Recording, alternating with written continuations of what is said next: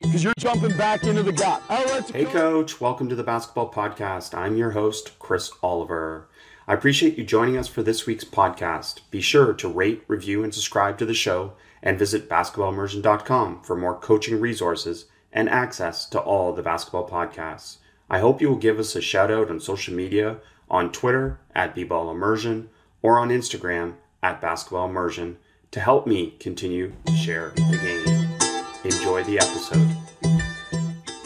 Coach is super excited today to have Dean Vickerman with us. Coach is the head coach at Melbourne United of the NBL, the National Basketball League in Australia. As head coach, Coach Vickerman is a two times NBL champion, uh, first as head coach of the New Zealand Breakers, and second as the head coach of Melbourne United. And uh, he also uh, won two championships as an assistant coach as well. Coach, uh, welcome to the podcast. Yeah, thanks for having me yeah, wonderful to be able to have you on, and uh, yeah, tremendous basketball being played in the NBL, and uh, I know you're waiting to get your season started. So uh, let's talk some basketball. And uh, one thing I wanted to start with, which is uh, something that somebody noted as I prepared for this podcast, and that was that uh, you said this, I guess, a few times in clinics, and that's to start practice with something that makes your team talk. Can you talk about that? Yeah, and I think the you know obviously there's theme to the, your day at practice. And being a program that likes to get our defensive drills in early, you know, we look at, you know, what are the things that are going to make a, a practice effective when we do start with those defensive drills. And, you know, using your voice is, is certainly a major contributor to a good defensive practice. Uh, we look at the stance and, and your footwork and, and try and hit some of those little drills as well. But I think you can get a sense at the start of practice about you know what kind of mood people are in and whether they're really upbeat and, and you need that kind of drill or, or you know it's something that it's a, a, major focus for for that session is to to really build the talk early. And we, we got some great talkers on our team and picking up Jack White out of Duke he's he's been such a a breath of fresh air for for some of the veterans where they've felt they've carried the voice and the load of the talk at different times you know, to have that guy come in and, and, and just be energetic about it and enjoy his voice being heard has been a lot of fun. It's very cool to hear that, especially in relation to helping you decide how you've got to be sort of as a coach during that practice. But can you give us some examples of some of the drills that you would do then to be able to get them engaged in talking? Yeah, I think any time we need that component, we've just got a, like a bit of a four corner passing drill.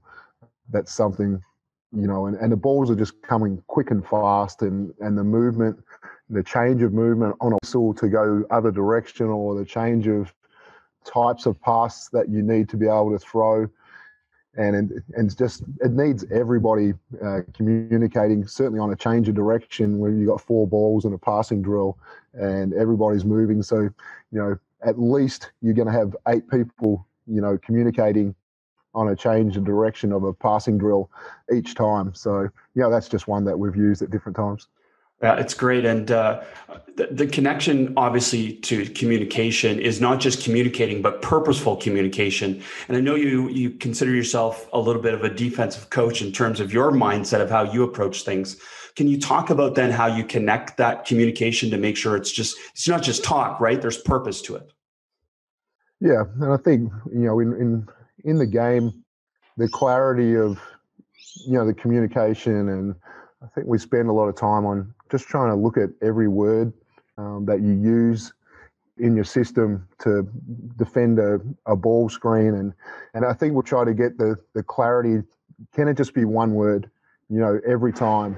Can it be, be repeated early and late and clear and we just want yeah that's the clarity that we're, we're trying to seek in game that that one word can mean give you so much information, uh, but give you the absolute clarity of of what you need to do in the game. Well, that's great, and I know it's one of the questions that I get asked a lot, and that's how do you get your team to talk? And and I've got to think one of the most important parts of that, which I'm I'm guessing you do, is that you have to be quiet as a coach. Yeah, there's there's moments as a leader that you absolutely have to step back. You know, some days you've got to drive yourself. If you you you really believe that that's going to help the, the practice the most and hopefully that becomes infectious that later in the session bat off a little bit But yeah, there are days where certainly our you know our captain Chris Goulding, who is a, a major voice in our practice, kind of come up to me before practice. He's like, you know, coach, I'm gonna I'm gonna be quiet today. I want to I want to see everybody else's voice rise up, which is great. You know, that's a development and a leadership development that others need. But we've never seen that day go so well. it's, it's it's much better when when he's driving, and so you know we try it and we talk about it, and it's like uh, you know this is what just happened today. Your captain was quiet because he wanted everybody else to to to step forward, and so I think taking that backward step as a coach, and I think we do it. We're doing a better job of it in our program to even our assistant coaches to say, don't step into that huddle right now. You know, let the players make those decisions, be around the huddle, but let let them absolutely lead it. At times, we'll, if we're in a scrimmage, I'll just grab a player from each team, bring them over to me, give information, let them go back and feed that information to the rest of the group. And again, you know, the assistant coaches are just around the huddle to make sure that they can analyze it afterwards and, and maybe add some improvements to it. But you got to challenge yourself with how you advance your leadership, and a big part of that leadership is is how players communicate with each other. Oh, that's awesome. I'm glad you connected that to the players as well. Because certainly on your team, you usually have a few players that speak more than others naturally. So to get them to be quiet to help other players rise up in their communication, such an awesome point. And we're going to talk about topic that you covered a little bit and a shout out to your assistant, Justin Schueller, who did a great job with this. And I encourage coaches to go check it out, a part of your United clinics during the pandemic, but how coaches impact the game in real time. And this communication builds into starting practice. Because another thing I saw on your Twitter account and something that I saw when I, I, didn't get a chance to watch you guys play when I was or practice when I was in Australia, but I got a chance to watch some of the other NBL teams practice. And I saw this is that at the beginning of practice, you're not afraid to change it up and do some things that are different, right? Uh, you talked about boxing, yoga, futsal. I thought you said wrestling too in your Twitter. Can you talk about that in terms of some different things like that that change it up to be able to help bring energy? Yeah, I think the you know the wrestling component came in my first year in back in Melbourne, and you know we we lacked the physicality. We uh, were really talented, but we'd kind of one lose one, and, and, and there was a big rebounding component to it. So we thought we'd try something different in a in a FIBA window where we had a chance to try a different element and to see what kind of response we got. And yeah, wrestling was the the one that we came up with just to players to em, embrace the physicality, to get down on the ground and not tap out. You know, you, you, there's no tap out in those wrestling. It was con, it was continuous, and you had to find a way out. So that's what we got out of the wrestling component. I love boxing. It's a sport that I just see with the balance and the and the movements that you make, both offensively and defensively, the forward and back movement, and um, the, and the hands and being able to be really sharp, you know, with your hands to to dig and move and in that kind of movement. And then we're and we're a soccer team. You know, we we I love my dad was wouldn't let me play AFL footy. He said you've got to go play soccer for a, for a year, and you know get your footwork right. If you can dribble a, a ball with your feet, you know you're going to be able to do you know most sports really well and that kind of stuck with me. And so we have we've had Soccer Friday for the last three years. We've moved our schedule in COVID this year to have an individual day on the Friday. So we're, we're, we're Soccer Saturday at the moment. And so we play a, a six minute soccer game, just some cones as the goals. And, and again, we'll roll in some, some official goals, but our players are getting better at it. And, and, and it's competitive, got a component of, of win and loss to it and whoever wins soccer gets to start with the ball in the first competitive five on five element for the day. So it's also you know start to practice that way. I love it. I love it. And, and even when I was saying wrestling, I didn't think that you actually meant they're actually wrestling. Like it's one on one wrestling. Do you have mats and stuff too, or is it just on the court? It was it was a little scary, and, and I yeah. But uh, in New Zealand, with a wrestling coach, and and we did it on the court. And I think we had one minor injury in that one. And this time the, the first session that we did, we we went to the wrestling studio, and it was all padded, and you know, and that one was that one was pretty full on, and yeah, there was there was throws and and really aggressive holds, and you know we had no injuries that day, but it was it was on the borderline. It was right on the edge of you know should is it, are we crazy or are we going to get good value out of this? That's great. And you mentioned the AFL, and uh, you know, coaches in North America would would uh, garner some different ideas from other sports like pro football and baseball and stuff. And in Australia, a lot of the influences the AFL and uh, rugby. Can you talk about the influences of those two sports on you as a basketball coach? Yeah, the AFL is a uh, you know, firstly the it's the NBA of you know our part of the world in in the budgets that they have in the in the sports science that they use in you know the tracking and the monitoring of players. Um, you know they're absolute leaders, and a lot of AFL players, uh, AFL staff have moved into you know the NBA in in those types of areas as well because they're world leaders. Um, the component of um, their practice or their game is the one-on-one contests. You know, a, a ball's being kicked from 60 meters, and you have to position yourself uh, to try and take a mark in a pack of people. Um, how does that relate? You, you can relate it to the way that you post up, the way that you maneuver both offensively and defensively in that one-on-one contest, but also within a crowd, um, you know, to to get the basketball, I'll get the footy in, in regard. Um, then I think the movement patterns, you know, certainly AFL coaches have come to us in basketball and and looked at our ball movement because their game has got so much faster. Um, you know, we talk about you know 0.5 to make a, a, decision with the with the basketball you know they're exactly the same right now. They're picking the ball up in a crowd of people who are about to tackle them and they have to have you know really great spatial awareness of where they are where the other players are how quick they can they can move the footy uh, to the next guy and then how their system of offense runs and, and are they coming down the side of the football field? Are they coming down the middle um, are they into shorter passes or, or longer passes? And yeah, there, there's a lot of things that, uh, and the way that the game has just got faster that relates um, to how you how you move the ball. Yeah, it's very cool to hear that and that connection. And I saw it when I was there too. Just uh, as you mentioned, the resources, which is which is really impressive. Uh, the other part that I've heard you talk about is the, the share, which you call a trademark. Can you explain what that is first and then why a trademark is important as a coach? Mostly come through the AFL system where, you know, there, there was a group called Leading Teams that, you know, worked for a lot, of um, the AFL teams at a time in a, in a management consultant role or team consultant role. And um, it was, again, like any team, you, you're trying to create a buy in early on about the identity of your team. And so they set out a process that was uh, with a facilitator that really drove the teams to talk about what are the values that are most important uh, to this team to win and and to be successful.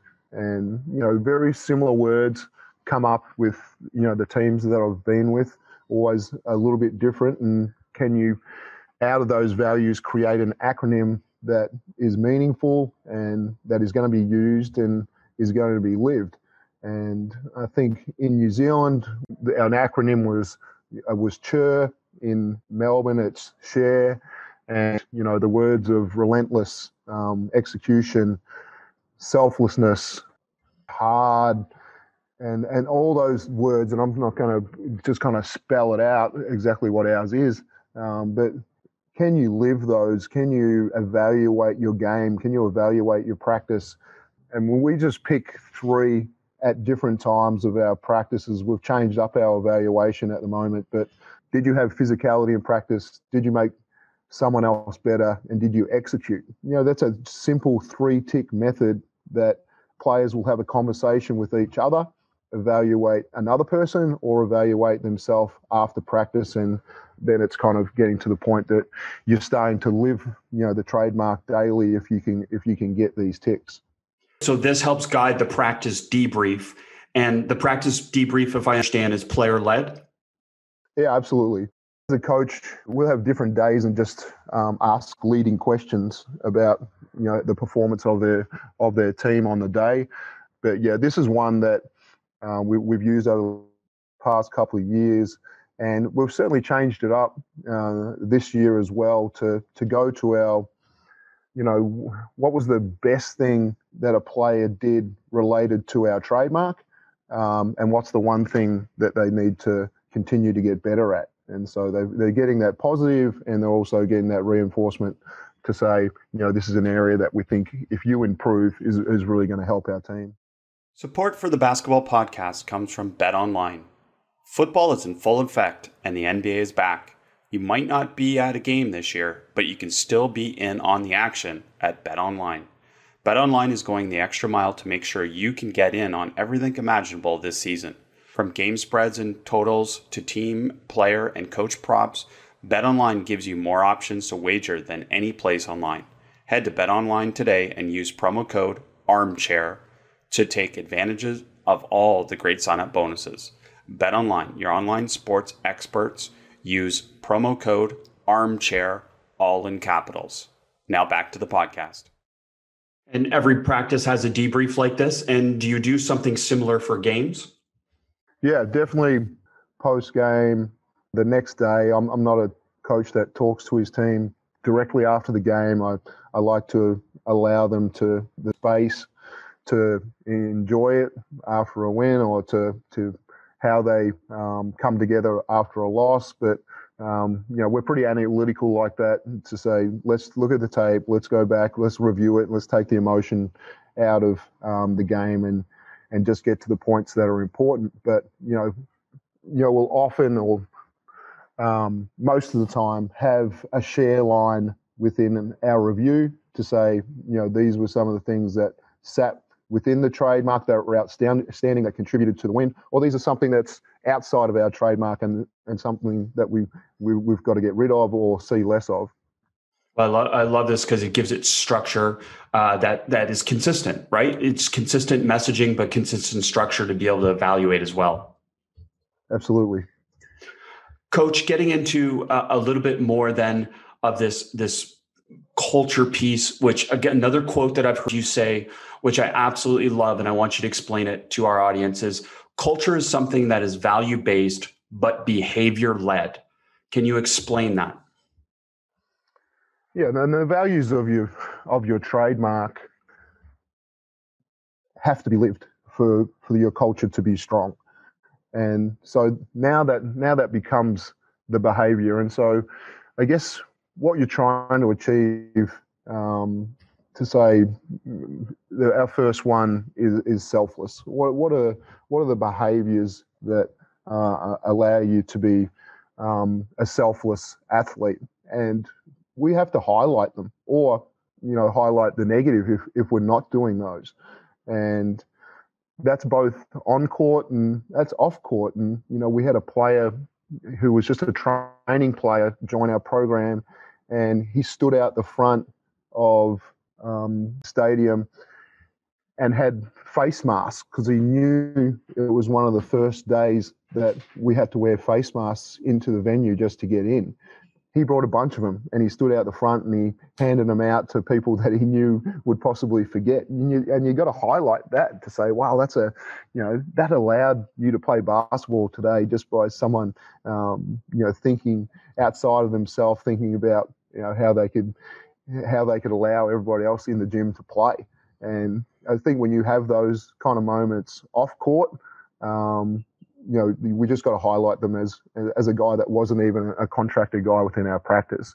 Same the other way, you know, is is someone being selfish, um, you know, on an airplane in, in just bringing himself a little bit of food and not offering someone else or doing different things like that. And so, um, you know, all those things build to really strong conversations. And I think that's where share and a trademark is you're trying to get to. You're trying to make the really tough conversations uh, much easier and for everybody to feel like they can hold someone else accountable, you know, if they're holding themselves accountable to the trademark.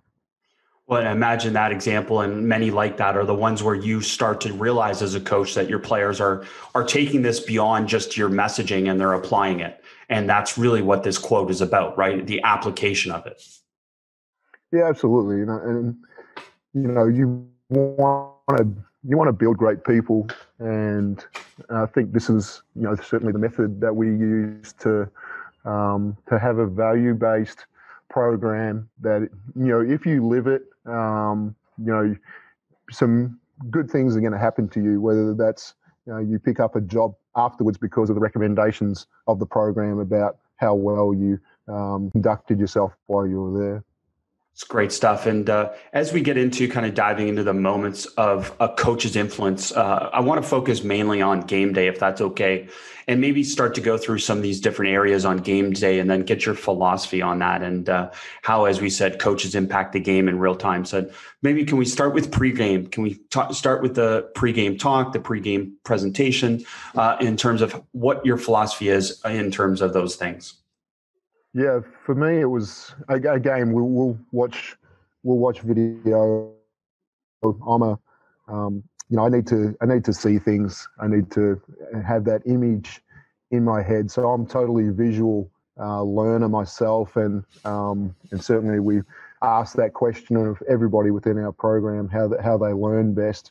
Um, but we continue to hit you know all the forms. Um, you know we show video, we give the scouting report, we go through the walkthrough, um, we follow up, we, we try and do everything to allow a player uh, to be in the best position to, to walk into a game. But pre-game, um, you know, there's a, a three-minute video um, that combines the the things that we feel we need offensively and defensively. May have a few little hype moments to it. Um, but my, my team in New Zealand, in my first year over there, in I wanted a really strong evaluation. We did we didn't you know we'd come off three championships and then we missed the playoffs in my first year as a head coach. So you know I really wanted strong feedback about how I could do things better. And their feedback to me in pregame was, coach, you don't need to come up with a, a special motivation for every game. Um, all we what we want from you is just give us the three most important things offensively, the three most important things defensively, and then how you see the game playing out is is what we want from you. And um, give us that in as concise information as you can, and um, and we'll challenge you if, if we think any of those um, are not where we want it to go. And so making sure that you not within a pre-game talk that they're going to they're going to challenge those things, but through the week, you know, as you've expressed what you think is most important, that they've, they've challenged um, those components and get the three things, get the three things, and and let's go. Well, I love that. Again, there's been studies on this, and I think a lot of them have done been done with Premier League soccer players. But just talking about debunking the myth of the pregame speech, and and just as you said, when you really ask players, they don't think it's as valuable as again media hollywood etc would portray it as. Yeah i think it's right. And that's certainly the feedback that i've had and you know i grew up with um, you know all kinds of different coaches and you know as i look back on it there's never really a moment you know that i thought wow that was that made me play so much better because of that talk i'll remember the talk for for different reasons for the story that they told um, you know, for how they captured the moment um, and those kind of things, rather than, um, you know, the was I totally pumped up when I walked out of the room and just knew that we weren't going to lose. That that didn't happen that often. Now, uh, some of this is resource based, obviously, the ability to have video uh, available pregame, et cetera. But uh, because you do have resource based, is the same philosophy apply to halftime where you want to show some video clips? Yeah, I've never really got there, you know, to a point that um, we've been good enough to capture the two or three clips that uh, we want to show. Um, we've often had coaches feed me, you know, three or four clips. So you know, kind of point to a coach during the game and say, I want to see that one. And um, as a coaching staff, just have a quick discussion about those before we go back and present to the team. Um, but yeah, with our halftime and the, the walk time and um, the 15 minutes that you have total before the game tips off again, um, we, we haven't been good enough to to go and get to the point to show those three or four clips. Again, individually, we might grab a guy and say, just have a look at this one. Um, but yeah, we haven't got to the point that. Yeah, yeah, no, and that's it. Yeah. And that's the ideal world, obviously, that uh, a lot of us exist in. That we just can't do that. But so, talk to me then about halftime in terms of let's start with first how you interact with your coaches to be able to get to the points that you want to be able to provide to your team. Sure. Yeah um, obviously had a, a lead uh, defensive coordinator, coordinator, you know, lead on um, the offensive side and, and a lead on individual kind of components. So, you know, we have an office that's really close to our locker room. Uh, obviously, you've challenged in how you find that area on the road at different times, but at home games, you know, we have a great little office there, um, and we also have, um, you know, our analyst as well uh, will will join those meetings. So, you know, it's just a really quick hit around the room. Tell me the most important thing, you know, moving forward. Um, quick hit for me on the on the stat sheet and our analyst just talking about, you know, are we hitting targets um, that we really thought were um, priority before the game, and then again, as we walk into the locker room, where we got to was, and again taken from AFL, is that they have uh, line meetings. So the back line, the, the midfield, the, the forward line would have little meetings, and some coaches are certainly in those. But while we're having our meeting, we want to walk into um, the locker room and have them in discussion as when we walk in. And often, uh, so we'll just have our um, our forwards and centers and our guards have a little meeting at halftime just to create conversation and try and solve some of those problems. So one of the first things when I walk into the locker room is, all right, what have you what have you solved? Um, and get an answer from the guards and get an answer from the bigs, and then all right, if, if they're the same things that we're speaking about as coaches, fantastic. Is there anything else um, that I need to add from the coaches meeting uh, to them, or do we have a difference of opinion about how we move forward in in some of those areas? Um, so yeah, it all happens in you know three or four minutes in that in that conversation. But I hated the point of when you walked into the locker room at halftime and there was silence. And that happened a couple of times over the last three years. And I, I was like, I just never want that point to happen again. I want whatever's going on in the game for our guys to continue to have conversations and, and problem solve. That's great. I love that detail, and thanks for sharing that. And uh, I'm wondering then, uh, when you get to timeouts, it, it's it's got to be a faster process. But is the process similar that you want to have in terms of your interaction with your assistants, but also uh, you want your players to be engaged? Yeah, absolutely. It doesn't change, and I think we've been much better um, in that scenario of, of um, player-led, you know, information before we get there. And I'm I'm poor in getting to a timeout quickly. I'd like to hear the conversations of my assistant coaches, and I've often getting tapped on the shoulder by the referee to, to get out of a, a timeout. Um, but again, as I walk into that huddle, what are the two most important things that I need to tell the group? Um, how can I do it in the quickest manner? Um, sometimes my drawing skills fail me and I have to redo one of those, and so I take my time and, and make sure that there's there's clarity as we as we move out of a timeout. And you know, this year it's going to be a little different as well. You know, we signed um, you know Baba Yudai Baba and um, Japanese, and he's really working on his English. But again, we it's, it's, it's a good hit for us to say, you know, has Baba totally understood what's happened in the heat of the moment? Um, have we give him, given him absolute clarity with him being you know slightly challenged with his with his language as well. So um, the confirmation of what's been said at the timeout is going to have to be even clearer uh, coming up this year. Uh, it's interesting. That might actually slow you down and make you a little bit more specific with what you say to make sure that he understands, and it might make you better overall. Who knows? Well, I look forward to hearing your feedback on that at the end of the season, Coach. For sure. So I'm wondering then, uh, what philosophy you've had, and, and maybe some of this comes from some of the sports science out of Australia and the different things, but uh, getting your players back onto the court after halftime and uh, you know the traditional come back out and just run through a few lazy layups, etc. I mean that's gone. So can you talk to me a little bit about what the philosophy is about getting them back and uh, getting some of the CNS activation and different things going? Support for the basketball podcast comes from Bet Online. Football is in full effect, and the NBA is back. You might not be at a game this year, but you can still be in on the action at BetOnline. BetOnline is going the extra mile to make sure you can get in on everything imaginable this season. From game spreads and totals to team, player, and coach props, BetOnline gives you more options to wager than any place online. Head to BetOnline today and use promo code ARMCHAIR to take advantages of all the great sign-up bonuses.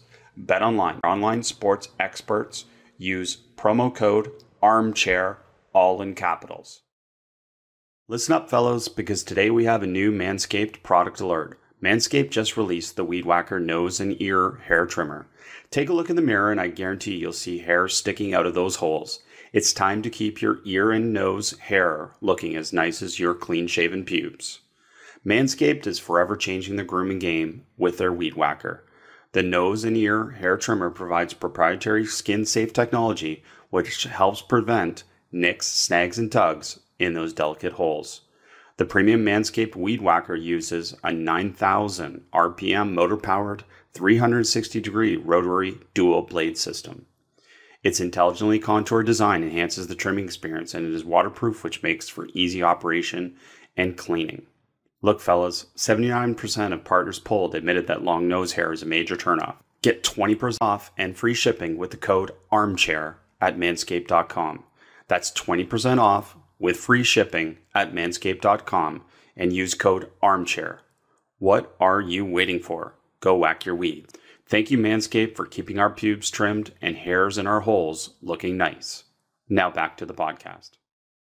Our strength and conditioning coach Nick Popovich, um, you know, does an amazing job in making sure that we're ready to go again. Um, our players, um, they differ and I think some of them just need that. They just need to go see, you know, the ball go through the hole. Um, you know, Nick's going to give them the quick hit that they need uh, just to get back up to speed. But um, it's important for me to make sure that we're out there with, you know, four minutes kind of left on the clock at a minimum. Um, you know, we've had times where we've rushed and um, it, hasn't had a good outcome. So, you know, I think just having that priority of time, and Nick keeps me on track in the in the um, halftime speech about what we get done there and the timing of it. And I can't let myself go over it because you know performance uh, can be um, affected if if I take too long. So um, yeah, I think the timing one's a massive issue. Nick does absolutely his thing with it. Um, but then players having that extra minute just at the end to calm themselves, get the clarity again um, before we go back out. Yeah, it's great. Great to hear that. And uh, what what are some of the reasons you call timeouts, Coach? Uh, for me, and, and I'm over my coaching career, I've had some really early ones, and and I think, it, and most of the time, I think they've been really effective, and I think that's a gut feel for you to say, you know, we didn't defend that first possession in the way that we just spoken about it in scouting. Um, our pace of movement of the basketball is ineffective to try and create the shot that we want right now. And and I think those two things. And if it's just an individual to say he, he got that wrong, you can fix that with a sub or a, a, a word on from the sideline. Um, but if you see the whole group, you know, and not holding themselves if they made an error and they don't hold themselves you know to account and try and fix that problem in any way then I'm, I'm happy to call it timeout in the first minute of a quarter a half whenever it is that you think this one could hurt us um, for the next three possessions um, so you know that's a big one for me you know fatigue timeouts are, are real in our league eh, with the pace that it's played at um, with the amount of pressure in the full court that you can see. And if you want to keep um, what you consider, you know, your top line players on the floor, uh, it's important to do that. Um, we go subbing subbing system um, to make sure that, and then that always changes in the in the third and fourth quarter, anyways, about how people are going. Um, but again, if to me, um, if you need that timeout to get the clarity down the stretch of the game, how cautious am I to make sure that early timeout that I've still got some remaining that I need at the end of the game to ensure that um, if it comes down to it, I can give that last information on a on a crucial crucial defensive or offensive possession. Oh, good stuff. And uh, I'm curious then your experience as an assistant, and you've obviously worked with a ton of high level different coaches. But what what are some of the things that you find most valuable from your assistants to be able to pass on to you in this short period of time for you to be able to communicate back to your team?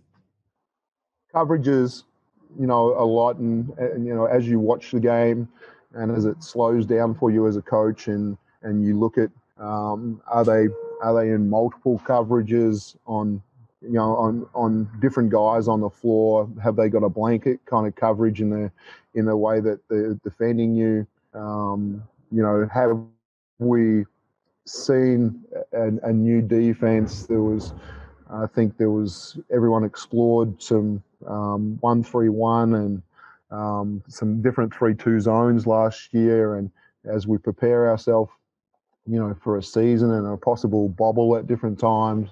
Uh, at, uh, you know, at the start of our season as well, we, we think the zone is going to be a factor. Um, but you know, I think the discussions that we've had pre-game and through the week about you know variances of what we believe um, are the what ifs, you know, in a game, what might they do? Um, are we seeing those? Is the coverage um, on defense for us can we do it better or do we need to change? I think they're what you want from your assistants to say, hey, let's give it one more go at trying to do it the way that we practiced, or are we going to move to, to the next level of more or less aggressive? And I, I, I, like that we are getting into this a little bit too about the information you're getting. You've talked about communication at the beginning.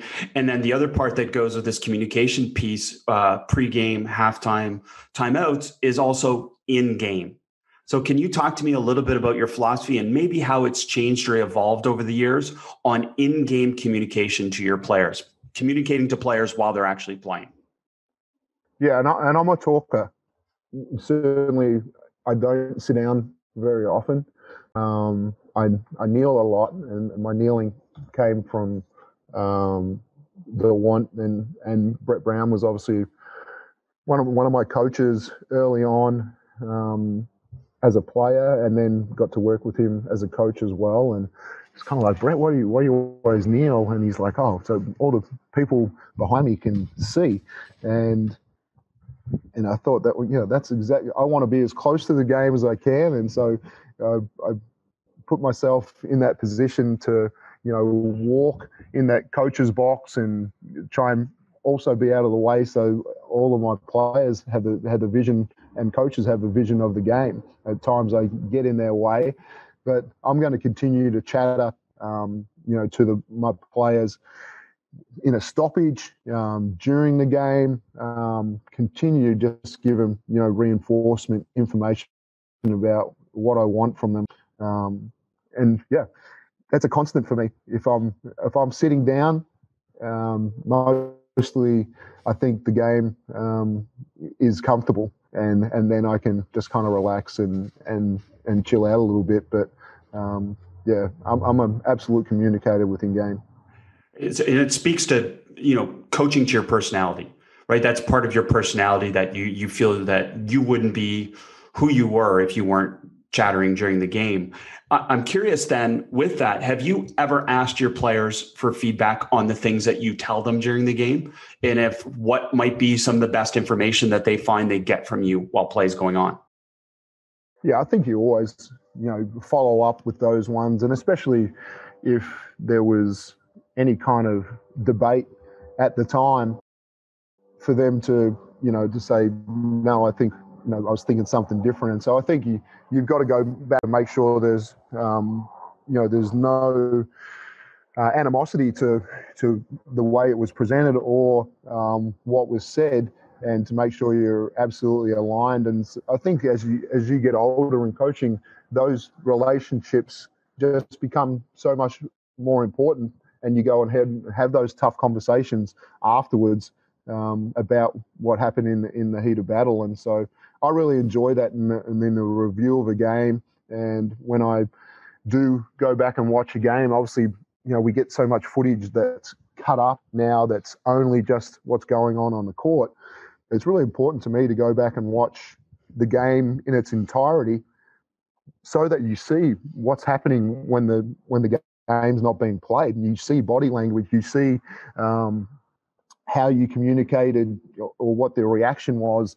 And so again you can see more at, in the review sometimes or reinforce what you, you thought happened in the game you know just by going back and watching those moments. And so i'll certainly cut up edits to show the whole group um, you know if that refers to any part of our trademark what actually happened when the when the battle wasn't going on when there was when there was the quiet moments I'm curious, do you find yourself uh, talking in game about defense more than offense or offense more than defense, or is it both?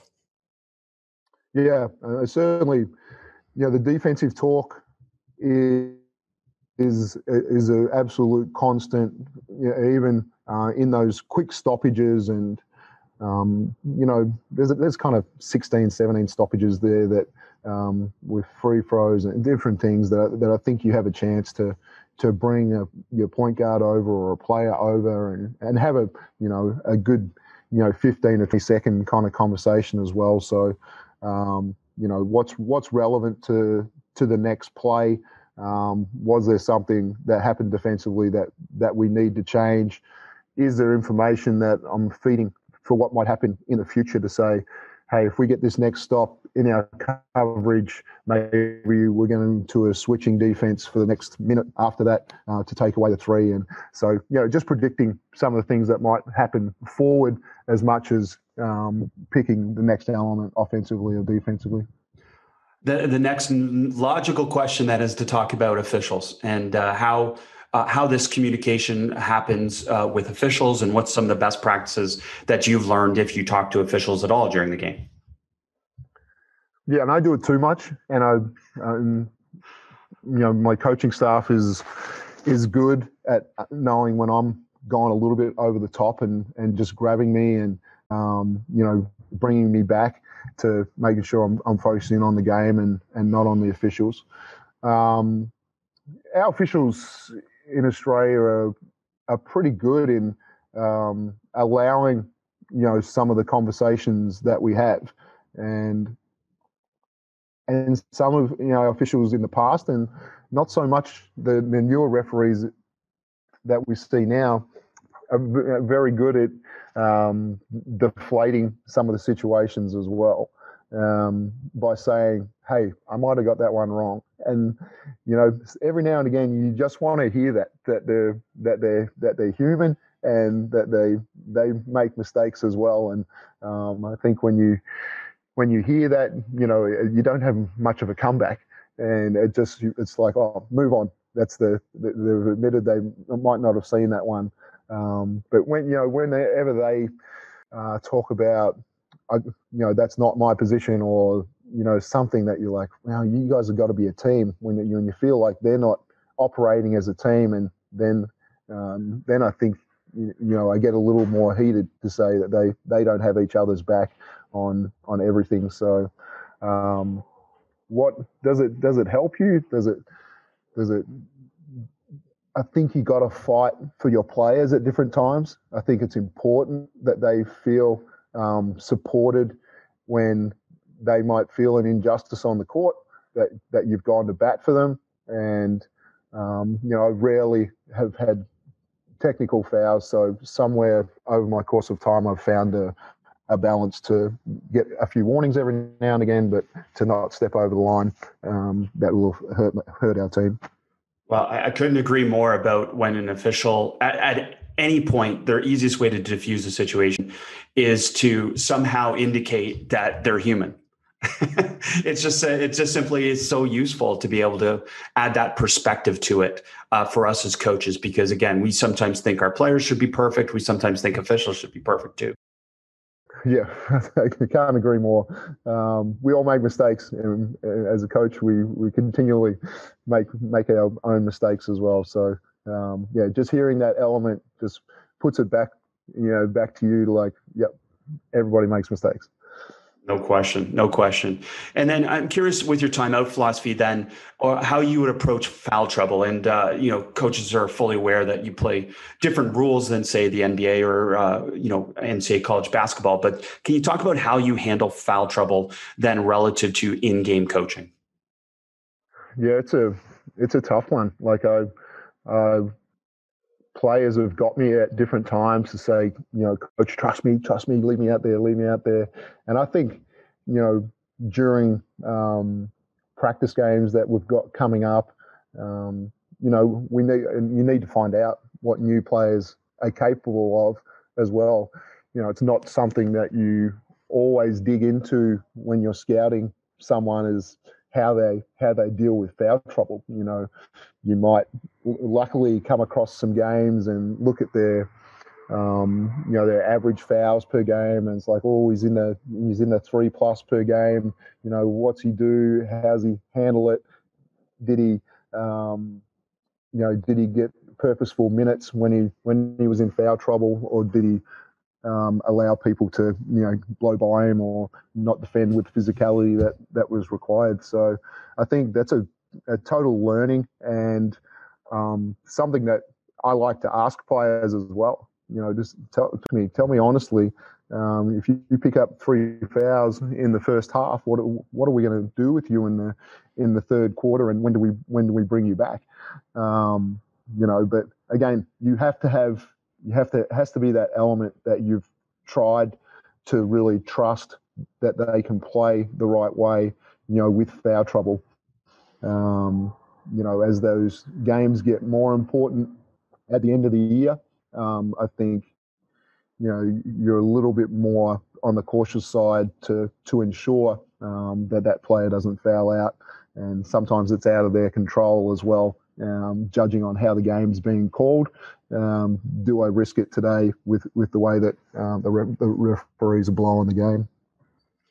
Love hearing that. Love hearing these perspectives on it. Coach, I understand you, you have three kids that are involved in youth basketball and youth sports. So I'm just curious now, kind of going back uh, in your mind to coaching those age levels, and what are some of the things you may do the same or maybe do differently in terms of some of these in game approaches that we've talked about? Yeah, sure. The I loved coaching under 12s. That was my my as a coaching director um, as I moved in different pro jobs, um, taking an under 12 group was the funnest job um, that I had. And I love that age group because you really are, you know, just teaching um, motion offense. You, you, you're limited in the amount of screens uh, that you set. And you know, I look at our practice the other day, and there was an edit that came up, and we were in a a simple five out motion um, that we would use in under 12s and, and, it got us a really effective shot. And I said it, I was like, wow, look at this. You know, the game turns around from where you learn it at 12s to, get to a point where, you know, spacing and, and simple movement is, is so important. So on the, on the tactical side of it, um, you know, I, I'd really go back and, you know, and simplify the game and really make sure that skill level um, is the most important thing in in the shots that we create and and and how you know we come together in, in trying to multi-skill uh, talent. When you talk about you know timeouts and um, you know the communication and how we how we uh, do that at a junior level, you know, not a lot of change other than probably my tone um, you know, and certainly wouldn't challenge the referees uh, like I would at, at the pro level. But you know, just the information, uh, how positive, you know, I would be in a timeout, how positive I would be in my in my talk along the sideline, and I think that's a challenge for me, even at the pro level. How how can I turn the the message that I want uh, into being a, a, real positive for our group and not not focusing on you know what we can always improve on, making sure that there's a real balance in the message. Yeah, it's great. It's great to hear, uh, you know, a coach's perspective that obviously is coached at all the different levels and coached in a lot of different ways, and uh, to be able to kind of connect it back to some of those younger levels. So I thank you for doing that, uh, Coach. Maybe just to wrap up, another quote that I've heard you talk about, and uh, maybe I'll paraphrase it, but uh, the biggest difference in years where you succeeded versus failed to reach expectations is the quality of relationships. Can you talk to me about that and the importance of the relationships and maybe how you do that? Yeah, I think it's, it's obviously you've got to you've got to create a bond um, with everyone on your team. Uh, but the years that I've written on my practice plan, I need to talk to these three or four guys today, and how good you know you can be in making sure that you've get, got to everybody. I had a conversation with a player yesterday, um, a rookie on our team, and one of the things that he expressed to me it's like, "Oh, we we really haven't spoken for for a week and a half or two weeks about my game," and I was disappointed in myself in that one. Uh, he returned from injury. He got a couple of weeks, and I just kind of felt like i will just let him get back into the flow of things, and then we'll we'll have those conversations. But he wanted um, more feedback than than I'd given over the last two weeks, and so you know that's just a constant reminder that there's probably a lot of people on your group that are feeling like that if if you're not making the effort um, to make sure that you communicate with everybody on that individual basis, and so um, sometimes again, is it that hard conversation that's stopping you from from going to talk to the person? Um, you know, is it right to do it in the practice environment?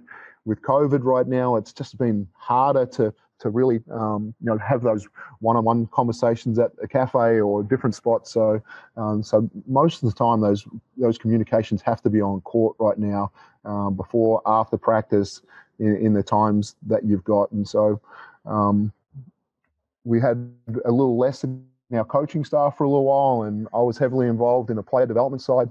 Our coaching staff has built back to a point where I can really get around and watch everybody in their individual workouts, and then grab a guy, sit down, talk about some of the things that I see uh, in his workouts and how that relates to the game. And so I've allowed myself a little bit more time to get to everybody. But you know, you know when you do it, and you and you and you're doing it well, um, just the response that you get when you have to have the real tough conversations in game, that that relationship is strong enough to challenge and move on really quickly, um, or just take the instruction and fly with it. That's great. And uh, coach, I cannot thank you enough for sharing the game with us. Uh, communication, culture, trademarks, and how coaches impact the game in real time. Just tremendous stuff. So thank you for taking the time. No problem. Enjoyed it. Thank you. Thanks for listening. Be sure to rate, review, and subscribe to the show, and to give the basketball podcast and this week's guest a shout out on social media to show your support for us sharing the game. And to stay up to date on all things basketball immersion, subscribe to our newsletter at basketballimmersion.com slash newsletter.